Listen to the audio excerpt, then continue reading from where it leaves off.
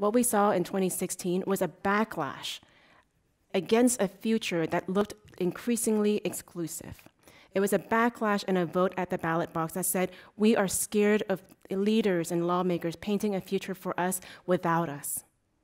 We are scared about a future that is excluding coal miners, excluding low income communities, that is not inclusive of our future. And there was a backlash at the ballot box. And I think it is incumbent upon us all to realize not only the grave threat that is possible, but the grave new hope and possibility that is possible for us all if we do this right and well. And that is what we're hoping people can hear us and do, kind of moving forward at the ballot box this election cycle.